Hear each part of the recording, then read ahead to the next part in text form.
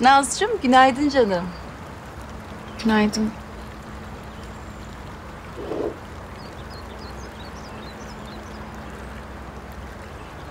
Çok özür dilerim. İnan böyle olsun istemezdim. Hani şovdu. Niye özür diliyorsun ki? Öyle değil mi? Baba dışarıdan hoş görünmediğinin farkındayım. Sen iyi görünmüyorsun kızım. Bak, dün de suratın bir karış geldi. Bütün bu olanlar seni mutlu etse inan hiç ses etmeyeceğim. Ama gerçekten ne yaptığınızı anlayamıyorum. Abicim tamam.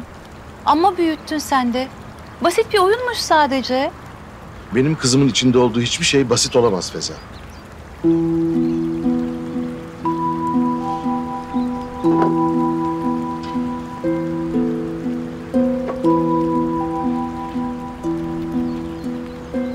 Neyse canım boş ver sen. Yakında güzel haberlerinizi alınca durulur nasıl olsa. Zaten onu bu kadar gergin yapan şey bu belirsiz vaziyet. Üzülme lütfen. Anacığım benim pek iştahım yok. Sana afiyet olsun.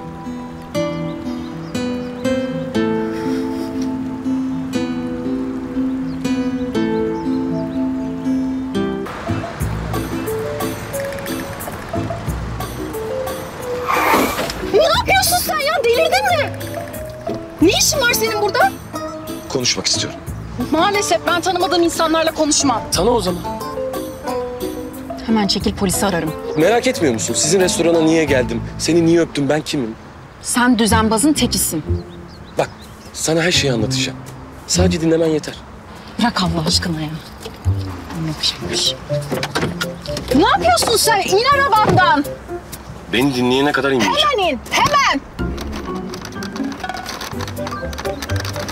Eğer benimle gelmezsen gider bütün basını toplar, bütün derdimi onlara anlatırım. Sen de akşam evden naklen izlersin. Hadi sür.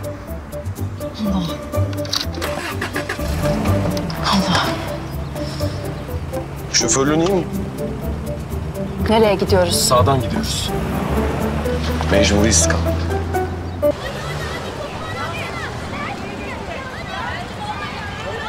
Neresi burası? Gel lütfen anlatacağım.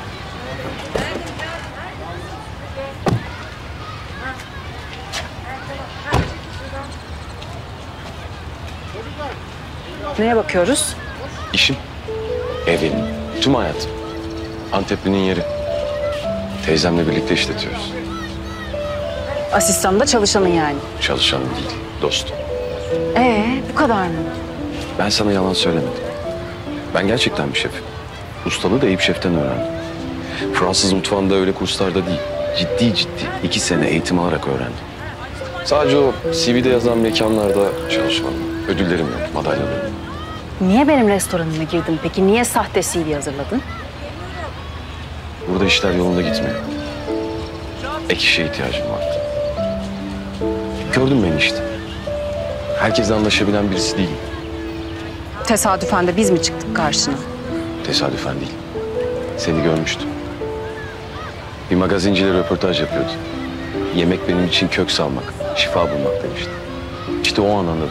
Bu iş senin için tutkuydu. Hiç ihtiyacın yok, restoran açmıştın. İnandığın yolda gidiyordu. Sen de Eyüp Şef'i araya soktun. Restorana girdin. Madem restorana girdim neden Naz'ı öpmeyeyim mi dedin. Bravo vallahi. Çok haklısın. Ayılık ettim. Bir kadının izni olmadan kesinlikle... Suç. Yaptığın şey suç. Dua et şikayetçi olmadın. Bak şunu düzeltelim. Ben sandığın gibi fırsatçı bir pislik değilim. İstediğim işi bulmuşum. Kaybetmek istemedim. Vakıfla anlaşmam bozulmuştu. Lansman gecesi işler karışsa bir restoranın kapanırdı. Son şansımızdı. Ben de aklıma gelen ilk şeyi yaptım. Ama çok yanlıştı. Çok özür dilerim. Affedersin. Bu saatten sonra özrünün hiçbir anlamı yok. Senin gibi kontrolsüz, dengesiz biriyle çalışmamız mümkün değil. Sana hayatında başarılar.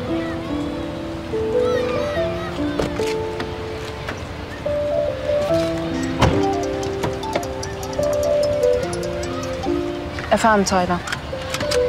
Geliyorum şimdi. Tamam.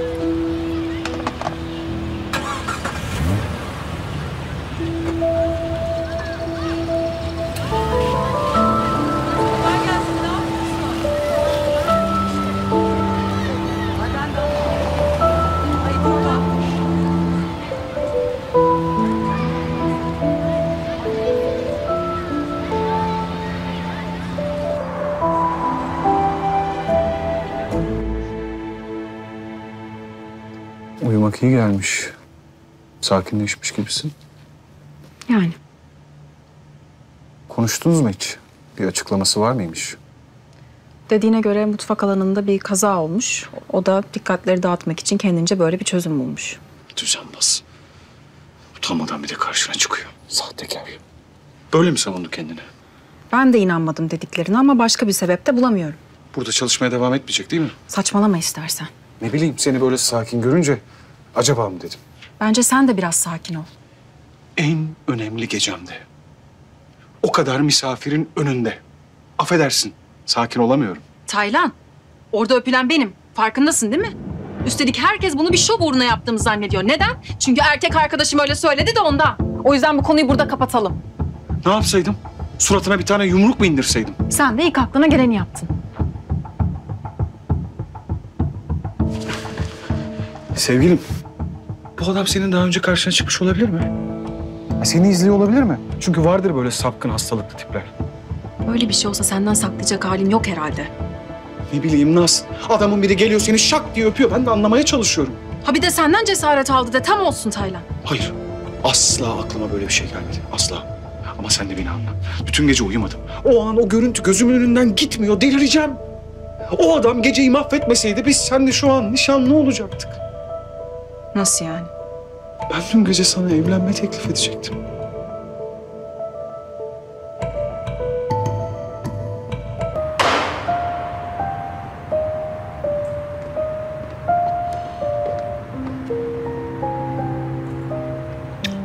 Üzmüşler mi bu kızı? Ha? Tüm gece bana evlenme teklif edecekmiş biliyor musun?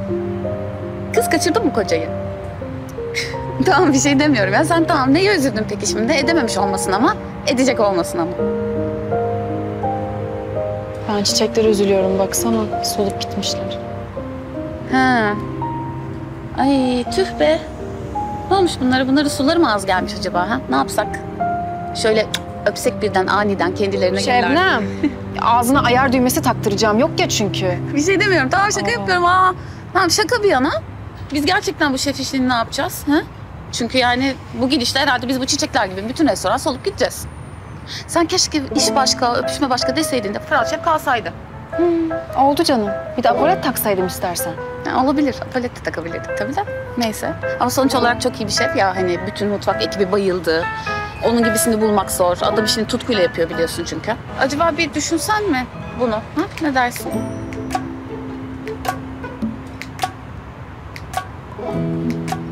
Sen merak etme bak. Ben çoktan yeni birini buldum bile.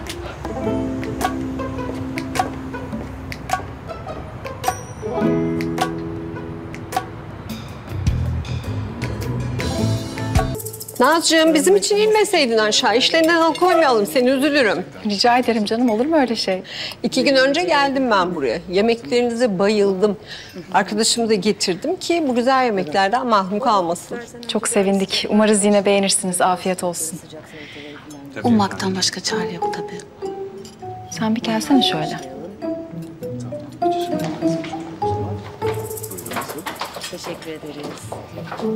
Ya sen niye böyle yapıyorsun ya? Ne yapıyorum? Böyle başımın etini yemeye devam edeceksin yani öyle mi? Öyle valla. Kendin duydun kadın Fırat Şef'in yemeklerini seviyormuş. Allah Allah ki Allah'a kaldı işimiz. Ki Allah da bize öyle dizi dizi şefler göndermiyor biliyor musun? Bak dizi dizi faturalar gönderiyor. Bakmak ister misin? Aa, al bak ya.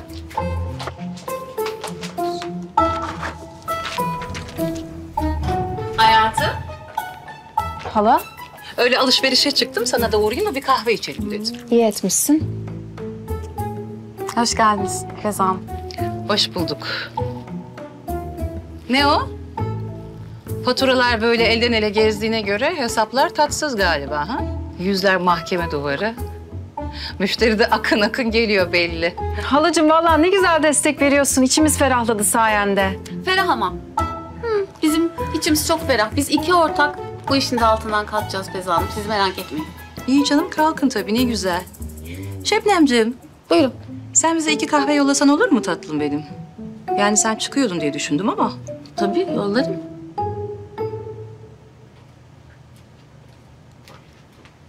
Evet halacığım. Seninle baş başa konuşmaya geldim. O niye hala?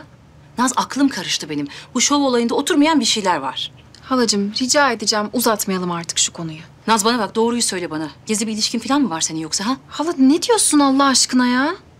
Bak ben halden anlarım. Benim de zamanında böyle bazı ufak tefek kaçamaklarım oldu tabii. Yani bilirim. Yani bazı adamlar böyle insanın aklını başından alıverir. Olur öyle yani, olur. Sen kocanı mı aldattın? Hangisini? Canım lafı karıştırma şimdi. Konu ben miyim, sensin. Ama yani sen de öyle bir şey söylüyorsun ki.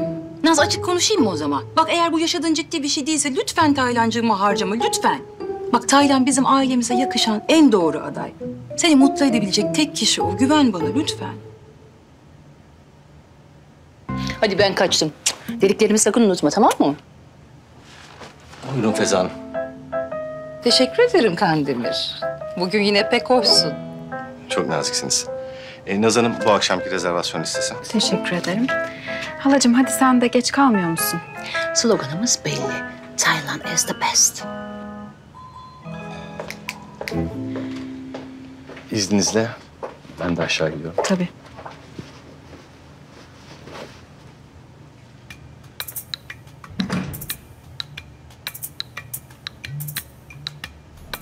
Gel bakalım Meral'cim. Sen anlat derdini Naz Hanım'a.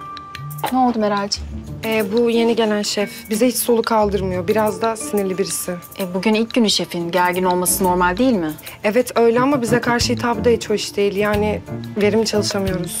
Meral'cığım mutfakta en önemli şey disiplin bence. Yine de bir sıkıntı olursa ben konuşurum şefinizle. Siz merak etmeyin. Peki, teşekkürler. Nazcığım, adam yüzün teki. Çocuklar haklı. Ben gördüm ya. Pimpirik pimpirik bir şey haklılar. Pardon hangi konuda haklılar? Vallahi yemek dediğim birazcık böyle zevkle yapılır. Bu çocukların hepsi bu adamla kekeme olur ben sana söyleyeyim. Nasıl motive olacak bunlar? Vallahi bir an önce bir yolunu bulsalar iyi ederler. Sen de kendini alıştır. Çünkü Fırat Şef bir daha bu restorana gelmeyecek. O adamın adı bir daha bu restoranda geçmesin. Aa, aa. Seçil Hanım. Aa. Yürü, yürü.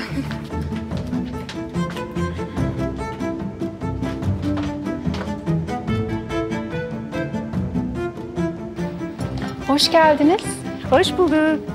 Seçil Hanım bu ne kadar güzel bir sürpriz böyle. Sürpriz mi? Davete icabet ettik desek daha doğru olur. Haberiniz yok muydu sizin? Aa, gerçekten sizin haberiniz yok mu? Ee, Fırat Şef dün gece bizi davet etmişti. Arkadaşlar çok önemli bir müşteri grubu geldi. Acil olarak onlara servis açmamız lazım. Şefim et grubuna en hızlı ne sunabiliriz acaba? Hızlı, acil. Et yemeyin. Acil olmaz. Acil yok. Aa. Acil var acil. Duydun mu beni? Acil var. Acil bir şeyler yapmanız lazım. Ne diyeceğiz yukarıdakilere? Peçete kemiri mi diyeceğiz biz? Allah Allah. Emremciğim bir dakika canım. Ee, şefim tam anlaşamadık galiba. Ne önerirsiniz? Nasıl yapalım? Neyi nasıl yapalım? Yemek aceleye gelmez. Benim katlanamadığım tek şey. Acele yok. Acil yok. Öyle mi efendim? Öyle mi? Al bir de buradan yak be. Ha? Şebnemciğim. Al bir de buradan yak. Ama hanımefendi iyice geriyor beni. Şebnemciğim bir sakin olur musun canım? Ee, şefim bak, yukarıdaki müşteriler bizim için çok önemli. Siz olmadan bu işin altından kalkamayız. O yüzden yapalım bir şeyler. Herkes memnun olsun değil mi? O zaman... Hmm, Öyle mi yapsak? Ne yapalım? Yok olmaz yapamayız yetişmez. Şefim, vazgeçme hemen sen bulursun bir şeyler. Bir düşün bakalım. Ha, bak senin de aklına yattı değil mi? Onu mu yapsak? O da yetişmez yapamayız. Gitsinler yarın gelsinler. Ya şimdi çalışmaya başlarsın ya da kendini kapının önünde bulursun ha. Nasıl bir sakin ol. Artık isteseniz de çalışmam sizinle. Senin, senin çalışmaya niyetin yokmuş ki zaten. Şimdi bir, bir sakin olur musun şöyle? Geç lütfen. Evet, evet tamam bakın işinize. He, Kandemir abiye söyleyelim bari peçeteleri çıkartsın. Arkadaşlar e, siz aperitiflerden başlayın. Et menüsü bende ben halledeceğim. Naz ne yapıyorsun sen? Sen yapamazsın. Cemnem ne demek ne yapıyorsun? Ben bu işin okulunu okudum unuttun galiba. Yaparım şimdi bir şeyler. Evet ama uzun zamandır sen mutfağa girdin mi? Ha? O kadar kişiye ya mümkün değil. Yapamazsın. şekerim herkes dün geceki şovu konuşuyor. Biz o kadar kalamamıştık. Çok üzüldüm kaçırdığımıza. Bir de oyuncunun biriyle öpüşür gibi yapmışsınız öyle mi? Öyle. Küçük bir numara işte. Oo, çok yaratıcı, çok.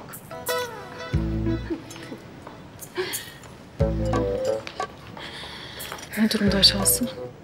Yani çocuklar zorlanıyor. Elleri ayaklarına dolandı. Bana da yaptırmadın. Sanki yetiştirebilecektik Naz. Artık gerçeği söylemek zorundayız. Kaçış yok. Haklısın galiba ya. Yani geç bile kaldık. Hadi. Hanımlar, bizim size bir şey söylememiz lazım. Aa Fırat Bey. E, biz sizi mutfakta sanıyoruz. Nerelerdesiniz? Hanımlar, hoş geldiniz. Hoş bulduk. Hoş bulduk, merhaba. Ay ben de arkadaşlara anlattım dün geceki yemeklerin tadı damağımızda kaldı diye. Ama çok oldu yani hanımlar acıktı söyleyeyim. Eh şekerler de düşmeye başladı. Yok, bu grubun şekeri kolay kolay düşmez bence. Ay çok tatlı değil mi? Şefim peki daha çok bekler miyiz? Ha beklemeyeceğiz. Birazdan servise başlarız değil mi şimdi? Ay çok güzel. Hemen geliyorum. Harika. Yeni şefinizin neydi? Biraz ağırmışsın. Merakla bekliyorum bu şefin yemeklerini.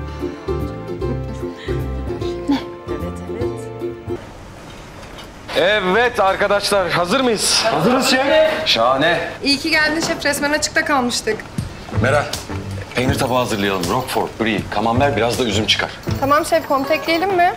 Bu defa Boğatepe gravyeri. Gökhan, et fırında mı?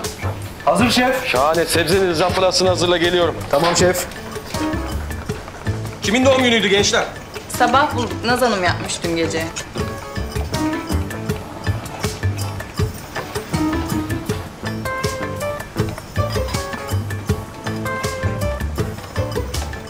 Bol şekerli. Kafanız karışmış demek. Efendim? Şahane diyorum. Meral, ortasına ceviz. Sen düzeltirsin Meral, tamam mı? Gökhan eti fırından çıkar, hadi. Tamam şef.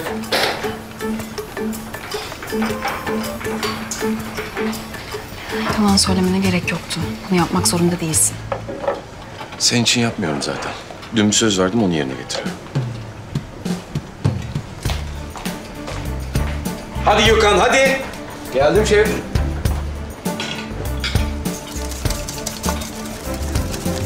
Hazır mı Meral? Hazır şef. Şahane. Tabağın etrafını sil servis. Tamam. Gökhan et. Hazır şef. Şahane. Tut ucundan beraber süzelim. Çevir. Hemen servis tabağı.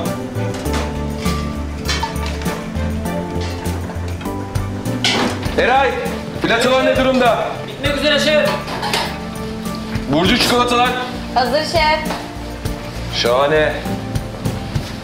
Gökhan tavada istiyorum. Geldi şef.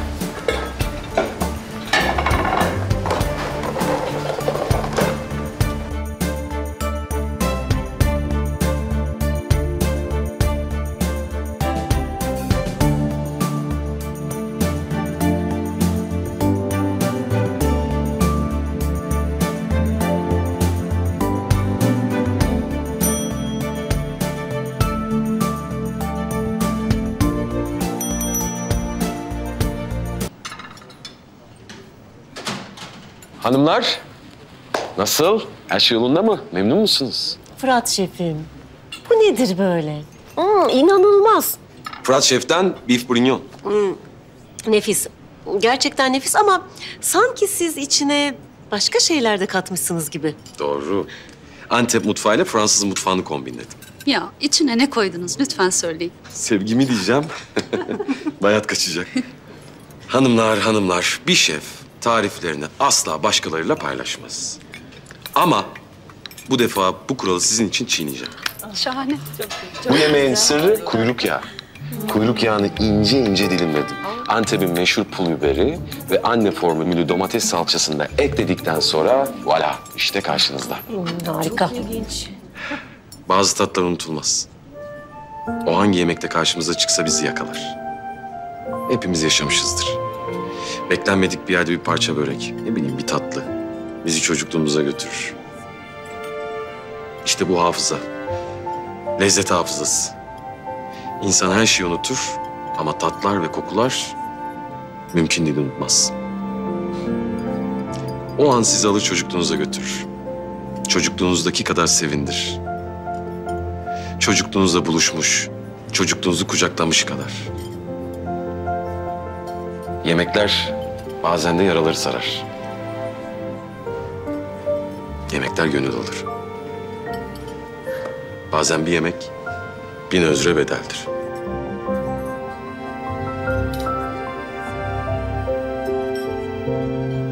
Hanımlar, tekrar görüşmek üzere. Muhteşem. Teşekkür ederiz. Güzel. Hoştu. Gerçekten.